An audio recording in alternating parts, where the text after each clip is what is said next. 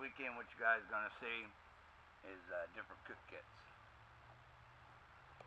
So this was the uh, skillet, frying pan I was using, a little uh, Texsport aluminum.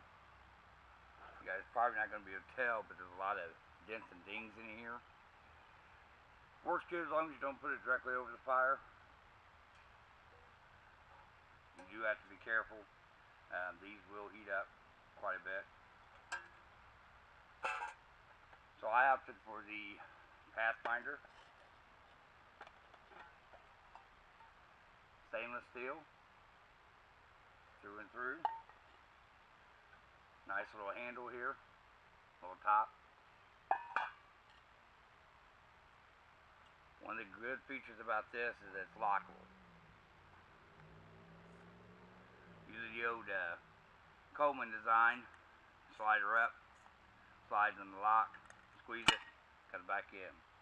There is a little bit of weight to this, but uh, this is something that's going to last me a lifetime versus uh, what you're going to get out of the aluminum or uh, thin metal, pot metal.